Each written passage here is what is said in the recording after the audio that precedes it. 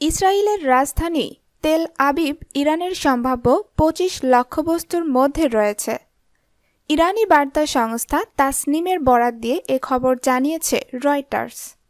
ইরানের বিপ্লবী guards commander general Gholam Ali Abu হামজার উদ্বৃত্তি দিয়ে এ প্রতিবেদন তৈরি করা হয়।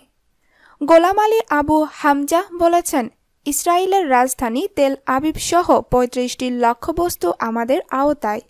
কাজেই কাশেম সোলাইমানি হত্যার প্রতিশোধ নিতে যেখানে আমেরিকানরা আমাদের আওতায় থাকবে, সেখানেই তাদের শাস্তি দেওয়া হবে।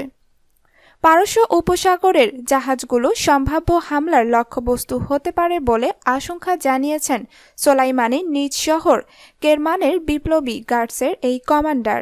শুক্রবার তিনি বলেন, সোলাইমানির হত্যায় যুক্তরাষ্ট্রের বিরুদ্ধে প্রতিশোধ নেয়ার অধিকার ইরানের রয়েছে। তিনি বলেন, পশ্চিমাদের জন্য হরমোজ প্রণালী খুবই গুরুত্বপূর্ণ একটি জলপথ। এখান দিয়ে মার্কিন ডেস্ট্রয়ার ও যুদ্ধ জাহাজের বড় একটা সংখ্যক চলাচল করে। বহু আগেই এ অঞ্চলে মার্কিন লক্ষ্যবস্তুগুলো শনাক্ত করে রেখেছে ইরান।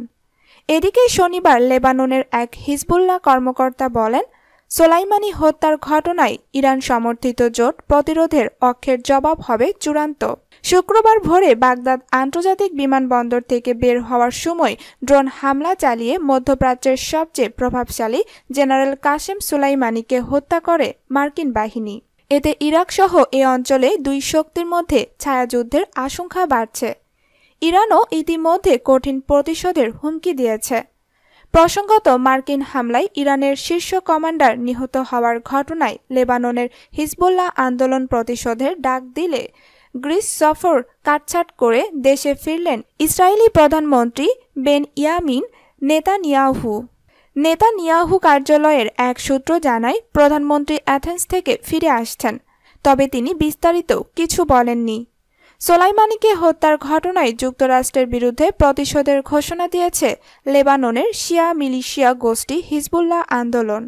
এক বিবৃতিতে হিজবুল্লাহ প্রধান হাসান নাসরাল্লাহ বলেন বিশ্বজুড়ে সব প্রতিরোধ যোদ্ধাদের কাজ ও দায়িত্ব হচ্ছে এসব খুনি অপরাধীদের যথাযথ শাস্তি দেয়া।